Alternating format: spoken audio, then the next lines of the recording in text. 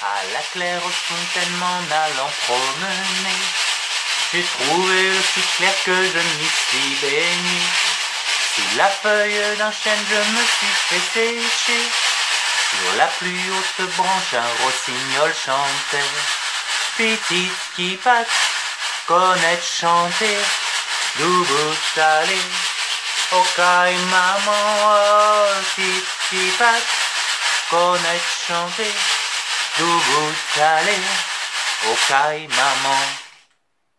Bonjour à tous et à toutes. Bienvenue aujourd'hui pour parler du kayamb. Le kayamb, c'est cette percussion toute de bois de la famille des maracas, des bâtons de pluie ou des tambours océans. C'est une percussion faite en roseau ou en bambou à l'intérieur de laquelle on met des graines, des grains de fruits séchés que l'on va pouvoir faire résonner en secouant l'instrument.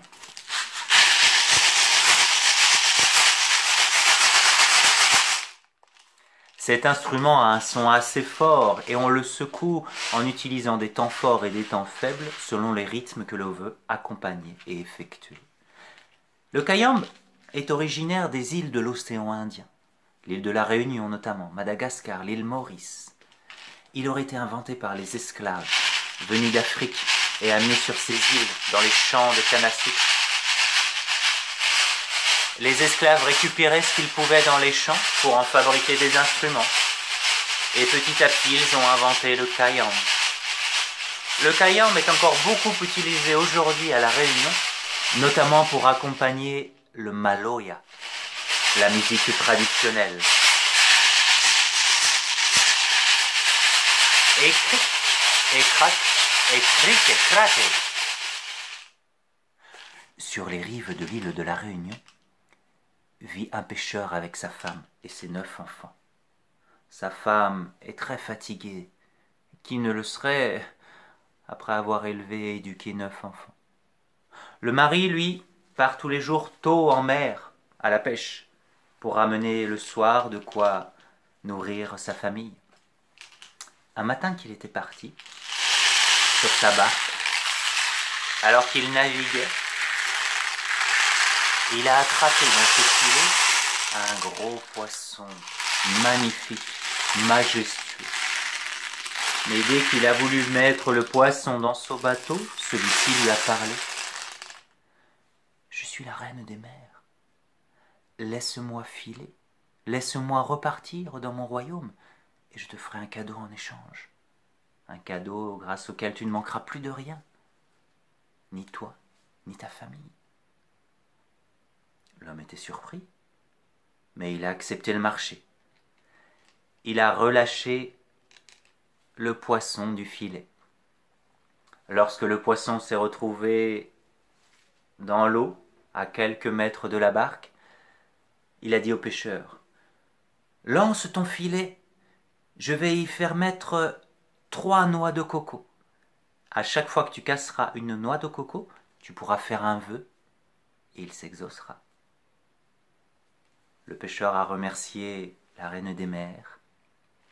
Il a mis son filet à l'eau.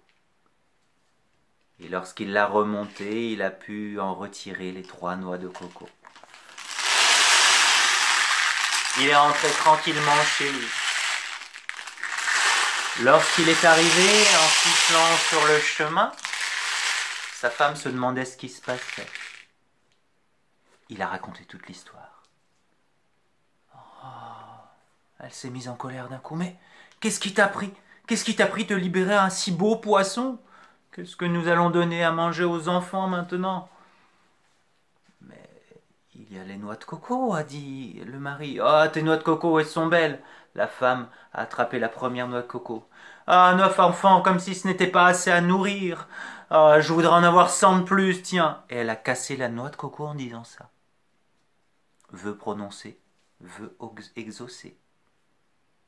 Cent enfants sont arrivés dans la maison. Il y avait à présent le pêcheur, sa femme, et cent neuf enfants autour d'eux. Qu'est-ce que tu as fait a dit le pêcheur. Mais. Mais tu viens d'exaucer un, un vœu pour rien, et maintenant comment nous allons faire pour nourrir tous ces enfants? Le pêcheur a pris une noix de coco et l'a cassée en disant J'aimerais que tous les enfants disparaissent. Et les cent neuf enfants ont disparu. Les cent enfants plus leurs neuf enfants. C'est la femme qui s'est mise en colère cette fois-ci. Mais qu'est-ce qui t'a pris? Mais qu'est-ce qui t'a pris de faire ce vœu-là Répare tout de suite ta bêtise. Et le pêcheur a pris la dernière noix de coco qu'il a cassée en souhaitant que ses neuf enfants légitimes reviennent. Aussitôt ils ont réapparu. Ce soir-là, ils n'ont mangé que du bouillon, et ils ont bien regretté de s'être mis en colère si bêtement.